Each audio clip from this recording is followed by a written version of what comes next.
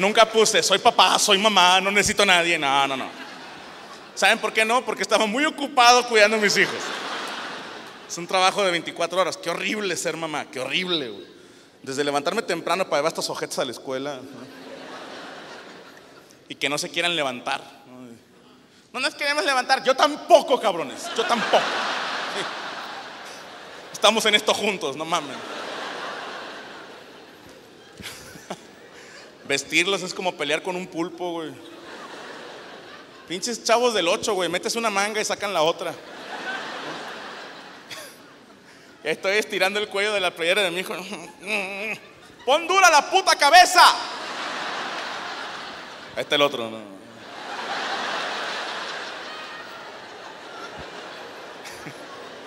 Mi niña, pobrecita, un mes sin peinarse, güey. Te lo juro que lo intenté, güey. Pinche coleta bien moderna de un lado, ¿no? Papá, así no es. Diles que te robaron la otra y que eran dos. Mejor cabello suelto, vámonos, ¿no? De hacerla. Primero llevarlas a la escuela es, es toda una aventura. El tráfico, yo, años que no vivía yo el tráfico, pues, yo vivo de madrugadas, ahora casi no hay nadie. Y en la mañana un chingo de mamás llegando a sus hijos, puras pinches camionetas, y ahí voy yo también todo cagado. y- La entrada es a las 8, llegué 8 con 2 minutos y la maestra no quería dejarlos pasar. güey. La entrada es a las 8, chinga tu madre. Son dos minutos, no mames. ¿Qué, se supone que voy a hacer? ¿Volver con ellos a la casa? Estás pendeja. Te toca cuidarlos a ti, chingale, ¿no? Sí, entiendo el punto, ¿no? De que no, pues deja esos dos afuera, chingues. No, no, no, culera. órale, son. Me puse en plan abogado. Cuando yo llegué a la puerta eran las 8 en punto, usted se tardó en salir. De ahí no me sacaron, güey. Y luego hay que hacer de comer. Y yo no sé hacer nada de comer, bueno, sabía hacer huevos. Pero después de 3, 4 días ya no es lo mismo. Y pobrecita las mamás, güey. Te voy a decir una cosa, caballeros. Cuando tu vieja algo de comer, cállate el hocico y cómetelo. No te pongas en plan, otra vez esta madre, no sabes, güey, no sabes. sí, no sabes. Oye, al tercer día no se te ocurre ni madre, güey. Dices tú, ya, ya se me acabó el repertorio, güey. Y yo quería hacer caldo de pollo, no sabía hacer caldo de pollo. Dije, bueno, yo creo en YouTube, me puse a ver un tutorial de YouTube de cómo hacer caldo de pollo. Y no lo vi completo, le fui adelantando y la cagué.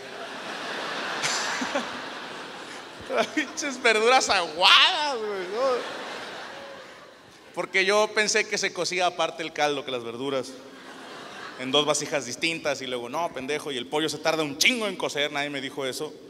Yo esperaba igual 15, 10 minutos, ¿no? Y me tardé tres horas, más o menos, sin exagerarles mucho. Fui por los niños a la escuela, regreso, les sirvo de comer y no quieren comer. Y da un chingo de coraje, güey. o sea, dices, oye, me tardé tres horas en hacer el puto caldo de pollo, ahora mínimo por educación, trágatelo, güey, ¿no? Sí. Aunque sea por compromiso, por quedar bien, güey. Esos huercos malagradecidos. ¿no? No queremos caldo de pollo. Y me salió la mamá que vive en mí. Sí, güey, porque les dije bien cagado, aquí no es restaurante. Aquí hay caldo de pollo.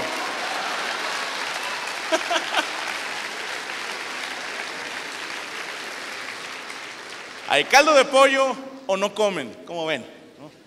Y los dos dijeron, no comemos y se fueron. Y uno como gordo no entiendes que alguien se vaya sin comer, güey. Si tenías hambre, cabrón, ¿por qué? Digo, yo he comido sin hambre, ¿no? Como podrán ver. Y lavar los platos nunca pensé que fuera tan, tan complicado, güey, ¿no? Porque son dos tinas, ¿no? Y bueno, dos tarjas, no sé cómo le digan aquí en Aguascalientes. Y la del lado del jabón no debería llenarse, ¿estás de acuerdo? Y empezó a llenarse de agua, ¿no?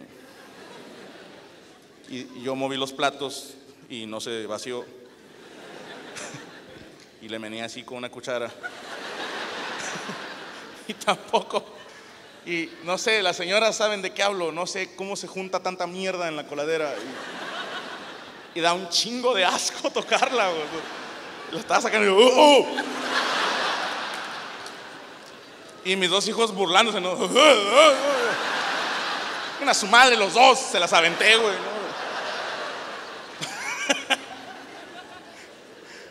Trapear me gustó, trapear está chido. Barrer es lo que odio, hijo de su puta madre. Me salieron ampollas en las manos, dije. Le hablé a mi repre en chinga, güey, unos granos en las manos, güey, no sé qué son ampollas, tranquilo, ah, ok. Nunca había barrido, güey, y, y no importa qué, qué tan chingona sea tu escoba, si compraste de las de pelo amarillo, esas madres, o sea, la, la compras nueva, la pones así en el piso, volteas y ya se le hizo un copete de presidente bien bonito, güey. En dos segundos, güey, ¿no? Y no importa qué tan afilado esté tu recogedor, aunque bueno, mi, mi abuelita me enseñó eso en paz descanse, tenía un recogedor de metal y ella lo afilaba.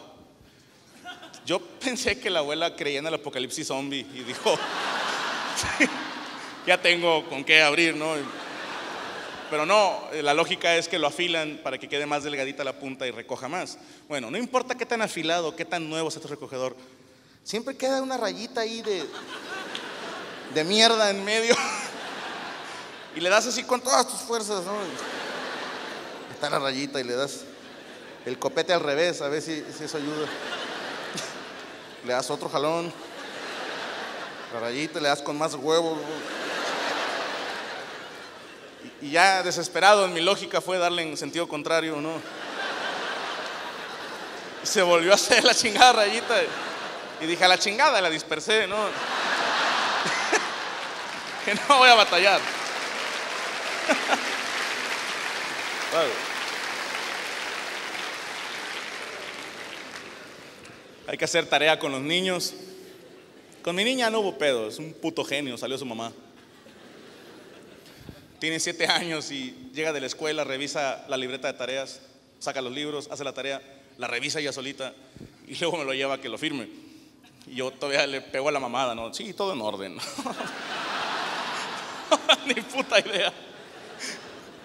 Mi nene salió su papá, oh, es más duro de cabeza. También tiene cinco años, ¿para qué chingas le dejan tarea? Relájense, pinches maestros, ¿no? Le encargaron escribir diez veces su nombre completo.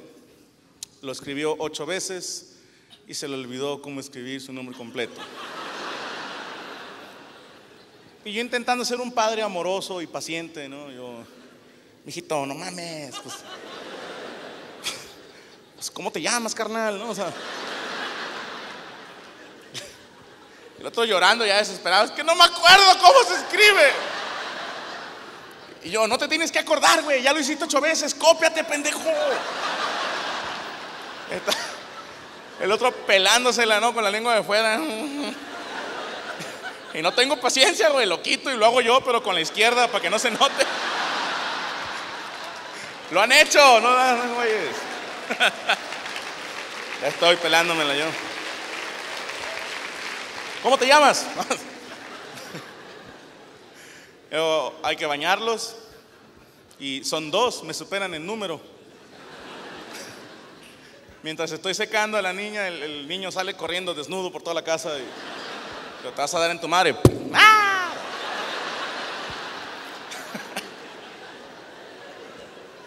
Los que tienen hijos saben que hay dos tipos de golpe que se ponen tus hijos. Uno que da miedo y uno que no. Hay uno que es en corto, ¿no? Ah, ¿no? Ese lo atiendes desde lejos, ¿no? sin dejar de ver el partido. ¿Qué pasó? ¿Quién se cayó? Ven para sobarte. Qué huevón. Pero hay otro que están echando mucho desmadre arriba. Y tú viendo la tele, ya, ya, cálmense, se van a dar la madre, hombre. Y, ah, ah, ah. De repente, ahí sí corres, huevos, sí estuvo bueno. Ya cuando llegas ahí un güey tirado sin respirar, güey, ¿no? Respira, no mames. Tu mamá me va a matar, güey.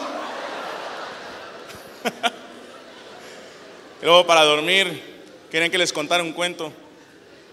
Y yo me sé puros con groserías, güey. Ahí me tienes inventando la versión infantil de Rosa la Rasposa. Luego se los cuento.